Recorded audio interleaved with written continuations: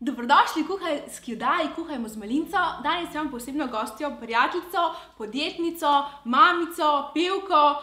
Hajdi, dobrodošla. Čau. Čau. Kako lepo vod, hvala lepa. uh, hajdi, jaz sem začela kar z vprašanjem in sicer me zanima, kdaj si se lotila podjetništva in zakaj je otroška trgovina? Ja, vse skupaj je bilo povezano pač s tem, da sem spoznala moža, ki je bil Aha. sistemski administrator, in v bistvu sem zelo hitro zanosla po treh mesecih, ko smo se poznala. In uh, darilo ob rojstnem dnevu je bila domena Heidi.si, s katero sem potem, uh, ker sem sama kot mamica, dosta raziskovala teren, kaj za otroka in takrat. Uh, pet, šest let nazaj, no, ko sem jaz začela, ni bilo neke alternative, alternativne ponudbe na okay. trgu, zato sem se odločila, uh, da pač poskušam jaz najti kaj bolj butičnega, kaj bolj dizajnerskega in pa seveda praktičnega Pre. za nas starše. Ja. Tudi si danes prišla, prej si delala kot vem na banki. In si ja. šla potem v uh, spletni biznis, tako, v bistvu tako. brez izkušenj nekih v, v spletnem biznisu. Ne, brez nekih uh, konkretnih izkušenj, vse je bilo neko odkrivanje na novo, uh, dogajala se je kar dokaj, bom rekla, nepričakovana, hitra rast, z njo ful veliko izzivov, sreče, veselja, entuzijazma, navdušenja, pa se sama, veš, kako ja, je ja. bilo. Imamo še reči, da danes si vesela, da si tudi ta korak naredila takrat? Zelo. Okay, cool. Zelo. Srečna in vesela. In, čeprav je bila težka pot, se ja. vemo, obe dve ja. smo podjetnice, da ni enostavno, kot mogoče vse na vzven zgleda, ampak eh, je pa, je pa, je pa super. Se pa no. splača, se splača. Ja, ja, ja, res ja. Uh, okay, danes smo se odločili, glede, da si pač mam, nam še moč poveš, koliko imaš starega, stare sine, sinova. Ja, Dante bo zdaj ravno kar dopolnil šest let, uh, Evan je pa uh, štiri in pol, oziroma pet ja, bo kmalo. Ja.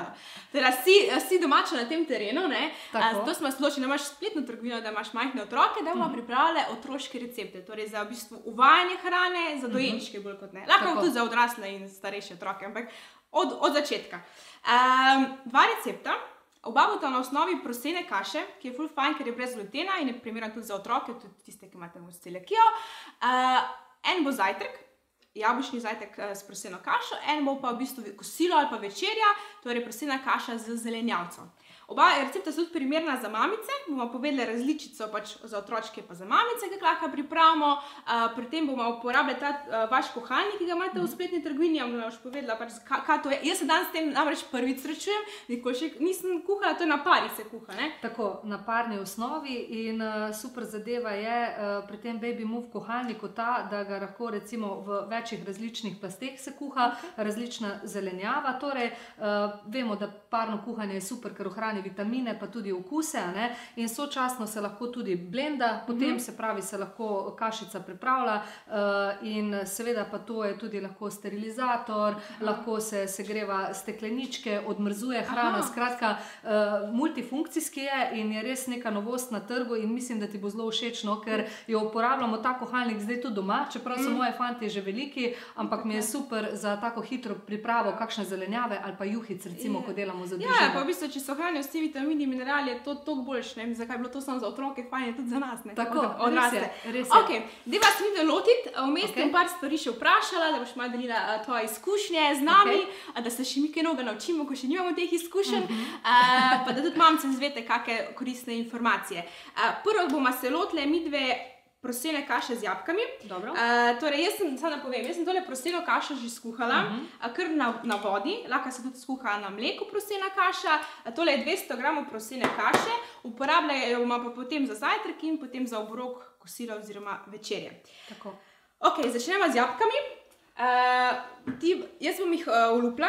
Uh, moč, uh, vprašanje je, ti lupiš jabke, se ti zdi pomembno, da se jabke lupijo za otroke ali uh, lahko pač damo zalubki vred ali brez zalubkov. Zdaj, Mislim, to je čisto odvisno od posameznega starša, či, pa recimo odvisno, kje smo kupili tudi, ali okay. so to bio jabolke in tako naprej. Okay. Če tega porekla ne vemo, potem je mogoče res z teh začetnih najbolj občutljivih mesecih, ker lahko vsebuje v lupki tudi kakšne pesticide, da jih olupiva, okay. zato bomo mi dve danes to naredili, čeprav, kot vem, so se prej pogovarjali, so to bio jabolke. Ja, bio jabolke so, ja. ampak gremo vseeno olupiti. Dobro. Uh, tako da, ja, jabke so pa seveda zdrave, pa super, da jih dojenčki jejo. V začetnih mesecih je mogoče fino, da jih uh, pokuhamo, tudi okay.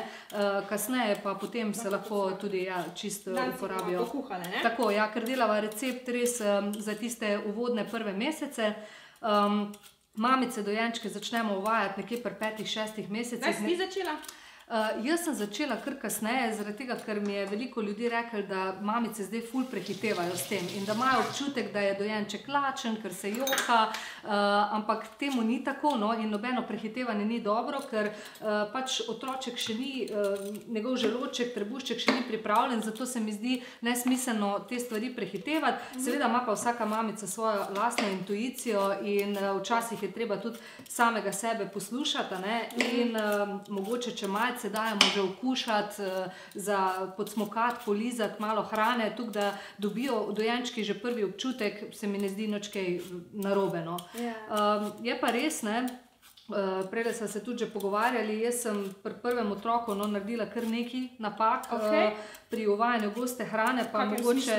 Uh, ja, bi o teh spregovorila. No, de, ja. uh, bila je zadeva taka, da v bistvu so mi rekli uh, pri zdravniku, ne, da moraš vsako hrano najmanj tri dni uh, uvajati, zaradi Aha. tega, ker če je slučajno dojenček alergičen, tako, ne, da se to nekako v treh dneh potem tudi izkaže.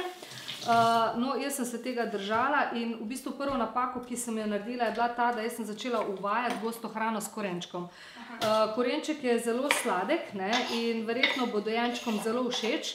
Hkrati pa res nisem vedela, uh, da korenje zapira. Jaz sem mojemu dojenčku tri dni zaporedoma dajala korenje, ki ga je seveda veselo jedel, ja, ja. ker je sladek in dober. Uh, ampak v Bogi moj otrok je bil zelo zaprt, no, tako da sem na koncu uh, celo pri zdravniku pristala. Tako da tudi zdaj se držati točno vseh teh pravil. Se kot tokenih informacij na internetu, da včasih res ne veš, kaj bi verjel. Pa, ja, ne, ima prav. Ne? Spet pravi, ne, neka intuicija. No, Zdrava kmečka pamet se mi zdi. Točno tako, ja, ko si rekla. No. Uh, tako da to je bila recimo ena napaka, no, druga, ko bi jo pa izpostavila, je pa ta, da sem pri prvem otroku preveč dolg časa pasirala. Okay. Uh, eh, to napako veliko mamic naredi, uh, to pa zaradi tega, ker se ful bojijo, ne, uh, da bojo njihovi otročki se zadušili. Veš, ja, ja. To je le, res je velik korak, bom rekla, uvediti gosto hrano pri malčkih.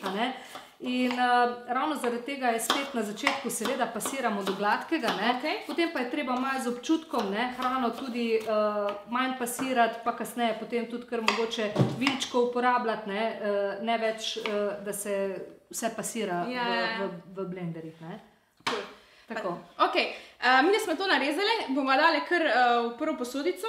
Tako, zdaj v tem kuhalniku lahko kuhava več stvari naenkrat, okay. zato jaz predlagam, ker bomo brokoli dlje časa kuhali, okay. da bi ga dali v spodnjo okay. posodo, v zgornjo posodo, ki jo lahko potem tudi odstaviva, pa bomo zdaj le dali jabke. Okay, pa lahko daš ti to kar noter. Uh, ja, za, glavno, za jed, za kosilo, oziroma za glavno jed, sem hodila reči za kosilo, oziroma večerjo bomo pripravili uh, proseno kašo z bučkami in brokolijem. Uh, narezali ga bomo na malo manjše koščke in potem dali v spodnjo plast kuhalnika in je ful dobro, ker lahko oboje hkrati kuhamo in naredimo dejansko vem, v desetih minutah dva obroka za čez dan. Teda, ok, sem tole malo splahnila, potem se pa lahko mi dve lotimo kar uh, svetlo mesto. Tako le, ja, še brokolija, ne? Uh, brokolija, ja.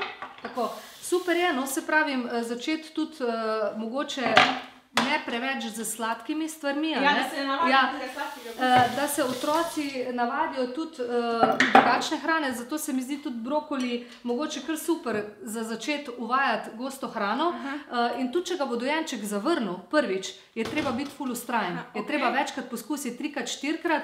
Uh, Mislim, da potem lahko uh, uspemo, ne? in ker prvič lahko, da bo dojenček zavrnil ne? določeno hrano. Ampak, če smo ustrajni, Uh, kar se mi zdi, da se splača, to se sploh kasneje izkaže, ne, ker lahko pa naredimo sami, predvsej zbirčnega otroka. Zbir, ja, mo, ja.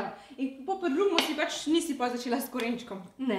Ja. Uh, pol pri drugem si vedno tudi bolj pameten, pa kar je še bolj pomembno, manj kompliciraš. Manj kompliciraš, to ja. pa vse punce reče. Ja. Ja. Pa imaš danes, ne vem, imate kak problem z zelenjavo, ker vem, da veliko otrok ne je zelenjave. Uh, pa malčki imajo kar radi, no se mi zdi zelenjavo, pa sadje. Ne vem, da se pa začne. Začne tisto obdobje. Tisto obdobje, ja, ko mogoče malo zavračajo stvari, ampak uh, ja, čisto različno. No? Pa si ti, ko, si, ko ste pripravljali obroke, ko sta bila mala, si pol delala kaj uh, hkrati za sebe, za njo isto, ali si posebej pač za otro otroke, posebej za sebe? Ne, sej, pravim, sem kombinirala, ne, zato sem ravno rekla, da je super, da izberemo take recepte, kjer lahko mamica v bistvu zdrav obrok naredi tako za otroka, otroka kot, kot za, za sebe. Za ja. sebe, ja, se, je, je, je, fajn, je, je fajn na tak način. Uh, Malo stvari izprobati. Ok, tole imamo. Ja, dali smo, da povem, pol bučke, pa približno 100 gramov brokolija. Evo, pa glih posodica in polna. Posodica je polna, tako da jaz dam zdaj tole najno uh, zadevo, vse lepo v najen kuhalnik. Takole. Uh, potem tale parnik obrnemo kontrasmer, ne, da ne okay. piha v nas. Okay. Uh, jaz bom tukaj enostavno ga lepo prižgala. Okay, da boš pokazala. Uh, zelo enostavno se nastavi, se pravi, izbrala bom tukaj parno kuhanje in okay. nastavili bomo minutažo. Tako, ker bomo kuhali brokoli, cirka 20 minut se kuha brokoli, jabolke bomo prej odstavili, ne smo dali za to brokoli spodaj, jabolke okay. zgoraj. Ok, in to je to. to, je to. Wow, to je, to je pa, in 20 minut imaš potem uh, mira, časa. Tako, mira ja. in časa, okay. in mi dve bomo lahko spile kavico ta to, čas. Ta čas. Ne, pa potem še kaj, še kaj povedle. tako. Kaj pa danes, ne, kaj pa danes najbolj pogosto zatrkujete? Ste že uh, malo starejši? Ja, zdaj zadeva je taka, da otroci imajo itak v vrtu zajtrk, uh mhm. -huh. ampak ker naša dva uh, sta tako bolj drubižeka, ne, imam jaz nekako vse boljši občutek.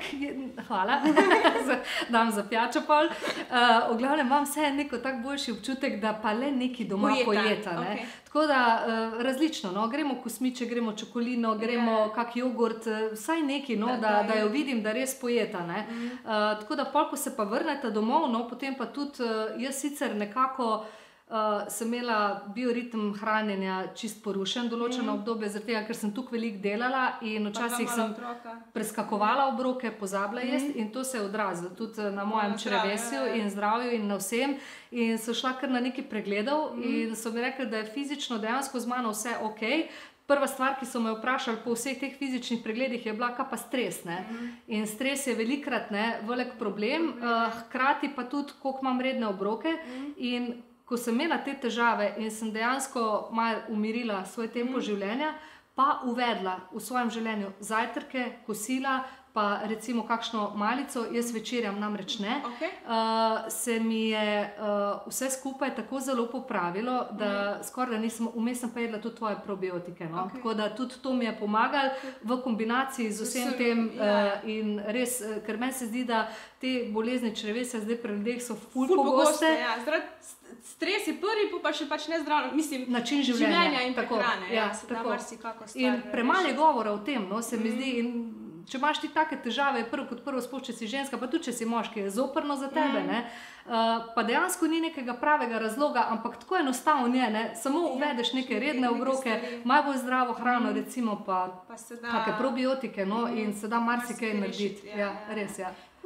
Čas odšteva, da minuti ste že mimo. Uh, mi bomo vmes naredili uh, pauzico za kavico, bi te pa še samo vprašala, uh, zdaj, ko je šest let, odkar si začela podjetniško pot. Tako je. Uh, Kje ste danes?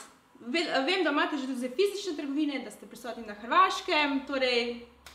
Ja, mi smo pač tako širili uh, naše lovke. Ja. Um, velik interes nam je prodati tudi uh, ven, v tujino, tako da to so neke želje, neke cilji. Uh, drugače pa ne vem, jaz nekako redno skrbim za ponudbo, gledam, hodim po sejmih, iščem aktualne neke stvari, trendovske stvari. Se pravi, najbolj me zanimajo lepe dizajnerske stvari, ki so praktične in imajo dobro ceno, ja. recimo, in da dobiš vse to troje na enem mestu. Sama sem mamica in vem približno, kaj bi zadostilo nekako moje potrebe. Ja. Vse izdelke večinoma itak grejo čez mojo roko, mm. jih jaz preizkusim, pa moja dva testna zajčka ja. doma, Dante in Evan. Tako da, če vsi ti izdelki nekako pokažejo, vse, da so uporabni, da so dizajnerski in da imajo dober price, potem dobijo nekako mesto no, tudi v naši trgovini. Mislim, da si kar v Sloveniji uvele ta uh, dizajnerski uh, trend tudi za otroke no, in pri ja. uh, dodatkih in pri oblačilih in pri vsem tem. Ja, ja, ne rabiš govoriti, da bi izrazil svoj stil. Ja, ja, ja.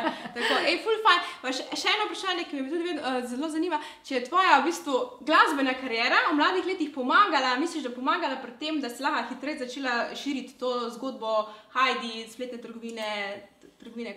Ja, absolutno. Mislim, je to, bom rekla, uh, zelo pomemben no, del v, mojem, v moji podjetniški poti. Čeprav jaz sem sama bila kar v dilemi, pa sem rekla, urbano, jo pa misliš, da ne bo preveč samo všečno, če bom dala Heidi naslov svojemu yeah. podjetju. Ne?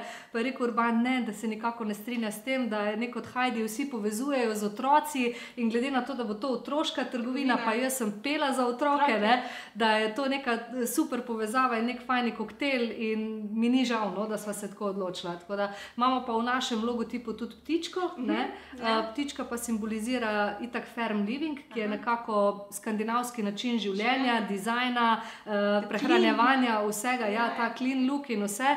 Uh, tako da je potem tudi ta neka ptička no, bila povezana, ker večinoma mojih brendov je nekako skandinavskih, ne, ki jih ja. distribuiramo za slovenski in hrvaški trg. Cool. A pa je še danske? Uh, v kopalnici osnovne mijo, res. Kaj pa tvoji otroci, imajo tvoje komade? Uh, ja, jih poslušajo tudi v vrteci, pridem kaj za pet, aha, če me cool, vzgojiteljice ja, pokličejo. Uh, tako da glasba je še vedno zelo pomemben del, ja, del življenja. Drugače pa jaz na odrih več ne stojim, okay. zelo rada grem pa na koncerte. Aha, okay. torej, glasba ostaja s tabo. Vedno. Ja. Odlično. Uh, mi bomo naredili zelo kratko pauzico, se vidimo čez 15 minut, ko bodo uh, stvari kuhane in potem naredimo uh, končno verzijo receptov. In jih tudi testiramo. Uh mhm. -huh. Mi dve smo nazaj, uh, jabke so kuhane, zelenjavca je kuhana, jabke smo že odstavile in bomo šli kar v akcijo in pripravili uh, jabučno kašo, jabučno proseno kašo.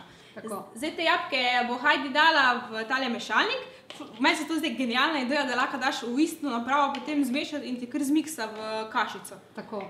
To so se spomnili odlično. Odlično, ne? Kaj si težko, tako težko biti mamica, veš, kako je hitro? Ne, ne, ne, ful imaš stvari, ki ti olajšajo. Uh, življenje. Da... Zdaj bom dala še uh, kašico zraven. Tako. Približno, jaz sem tukaj skuhala 200 gramov kaše, ampak ne bom dala polovičke, -huh. bom dala enih. Uh, da ne bo pregosto. Da ne, ne bo pregosto, ni 60-70 gramov kašice sem dala. Bomo dali še malo brusnic? Uh, da, imaš še malo brusnic zraven. Uh, tole so suhe brusnice, tudi za otroke so super.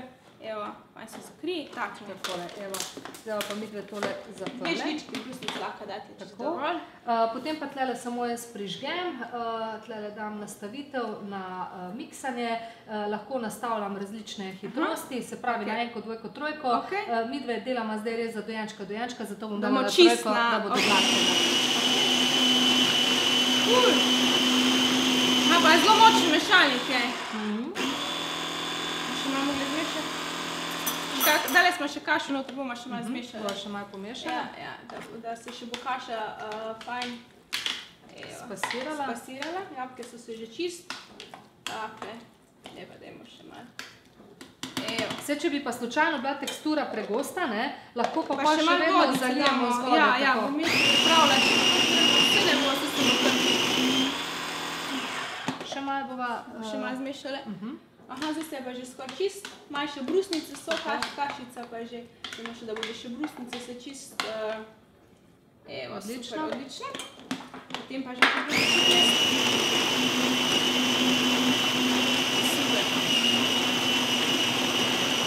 Tako, zdaj, da ne bova dolgo uh, miksale, mi dve smo res skoraj čisto do, do gladkega, ne? ampak mm -hmm. uh, se pravi, naš tom posne od blizu lahko. Ja, lahko, pa, lahko pa je različno, ne? odvisno pri kolikih mesecih smo. smo ja, ja. Ja, uh, gremo potem do gladkega. Da, diši okay. ja, ja, diši lepo. Ti boš pa naredila za mamice? Ja. Dansko okay. je tale kašica tako fajna, da lahko za mamice približno čisto enaka kot za otročke, s tem, da lahko date še potem malo uh, takega javorega eh, sirupa, medu ali gavinga sirupa ali malo sladkorja, da se malo posladkate, pa malo cimeta bom še zdrave dodala gor. Super. Jaz sem uporabljala danes te posodice od Skip Hopa, ki se mi zdijo res top pri uvajanju uh, goste hrane, zato ker imajo tale praktičen ročaj in dejansko tudi če dojenček, ker so rokice narodne, te kdaj rukne, vedno imaš uh, ful dober oprijem. Uh, potem imamo pa tudi tele uh, silikonske žličke, ki se mi zdijo top pri uvajanju goste hrane, ker so mehke uh, in ne moreš dojenčku nič poškodovati. Uh, prav tako imajo tlele tudi tale silikonski nastavek, da jih lahko vedno tudi odložimo in se ne dotikajo površin. Uh, tako da tole se mi zdi super stvar, prav tako pa je posvodica odlična tudi v tem primeru, da lahko, če dojenček vse ne poje, ker včasih malčki tudi niso razpoloženi, da vedno jejo. Ne? In si lahko ja, uh, prihranimo tudi kole, zapremo hermetično, prihranimo za kasneje, lahko jih dajo v hladilnik, zmrzujejo in tako naprej. Mm. Tako res praktično. To je že tako sladko, okay. da se ne rabi nič posladkati. Mm, sam res ne. Mm. Odlično.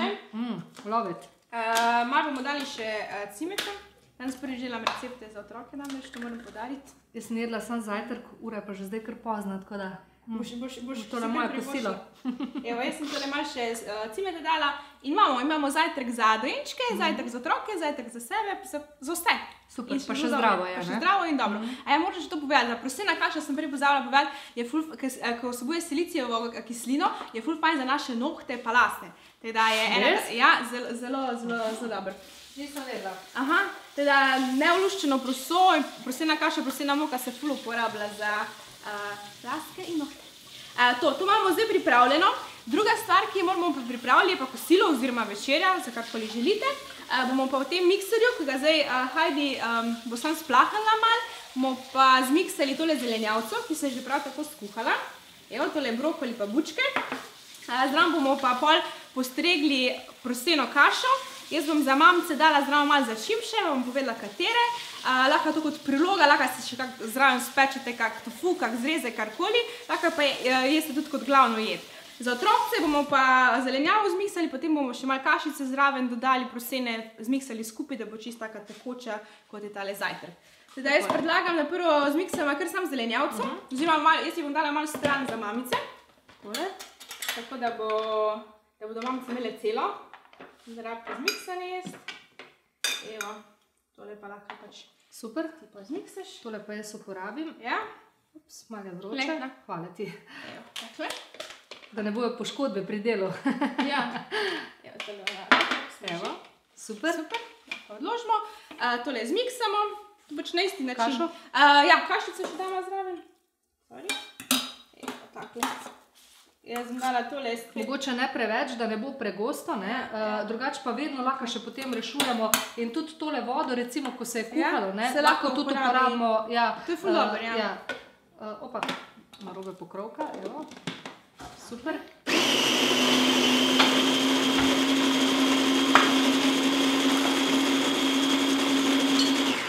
Sam pogledala, aha, zelo lepo se miksa, ja. Zdaj,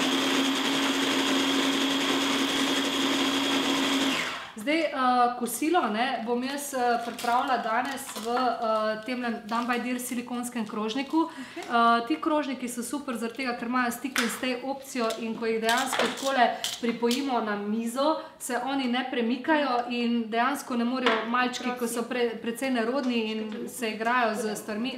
Sem. Ja, tule se je fej speril, pazi. Um, tako da ne morejo zbiti. Uh, druga stvar je pa super, da se silikon uh, ne more razbiti, lahko ga uporabljaš v uh, mikrovalovni, v pralnem, pomivalnem stroju, v hladilniku, zmrzovalniku, skratka, noro, trpežen in hvaležen material. Seveda pa, če delamo potem sam malčkom, ne, lahko damo mogoče zraven tudi kakšno drugo stvar, če že uh, smo pri mesu, ne, lahko tudi to damo zraven. Tako da uh, se da tukaj ločeno, ne, ker je deljeni krožnik kombinirati. Pa, ko so pa starejši, pa ko recimo že sami jejo, pa lahko uporabimo tudi uh, tele skledice, recimo so tudi zelo hvaležne od Dambajdira in uh, jih imajo malčki zelo radi. Serviramo mogoče zraven še kakšen sokec, uh, tale ima dva nastavka in je super stvar, en za prigrizke, drug za pitje.